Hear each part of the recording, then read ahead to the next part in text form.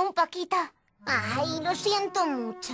Nunca duermo debajo de ninguna cama si no me han invitado. A menos que me pierda. Em, tendríamos que darnos prisa. El obseso de los monstruos de mi hermano estará viniendo aquí. ¡He llegado! ¡Corre, esconde a Matilda!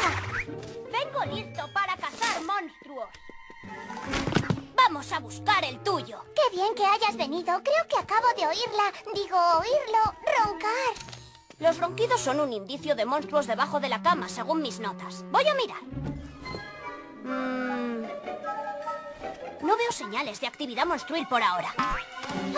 Sigue mirando. A lo mejor está escondido de- detrás de alguna pelusa. Os lo dejamos a los profesionales. Nos vemos luego. Buena suerte con la caza. Vaya, la caza no ha ido demasiado bien. No hay señal de ningún monstruo. Solo esta vieja manta de bebé. ¿Una manta? Sí. Y si te gusta tu manta de bebé tanto como me gusta a mí la mía, seguro que quieres acurrucarte con ella un rato. Me largo. Mm, Me alegro mucho de haber llegado a tiempo para comer esto. Mi estómago está rugiendo de gusto. ¡Bumpy! ¿Alguien ha venido a verte? En realidad, he, he venido a ver a... mm, mm, Matilda. ¿En serio?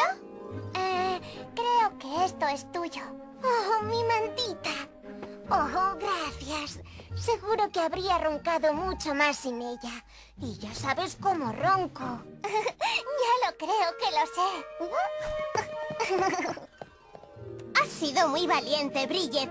Sentimos mucho no haberte creído antes. Es genial que te hayas enfrentado a algo que te daba miedo. Gracias. Sé que puedo ser valiente cuando tengo amigas. Y amigas monstruo, como tú. ハハハハ!